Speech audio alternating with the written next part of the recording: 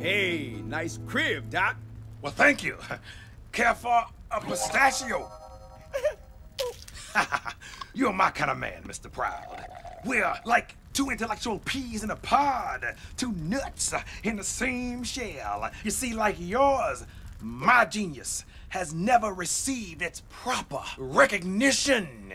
In fact, I've been working on a revolutionary new concept friendly humanoid peanuts. Capable of tending to our every need. Just think of the possibilities, Mr. Proud. They could care for the elderly, look after our children, take over the world.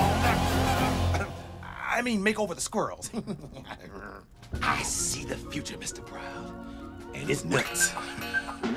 Ah, but the prototypes aren't turning out as I had hoped. They won't stabilize. It's like I need a, oh, I don't know, instant everlasting multiplying formula or something. Stop playing. I've created an instant everlasting multiplying formula. Maybe we could be partners. As Suga Mama always told me, two geniuses are better than one half-wit. Partners?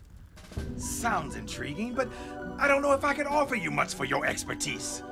Maybe only $10 million?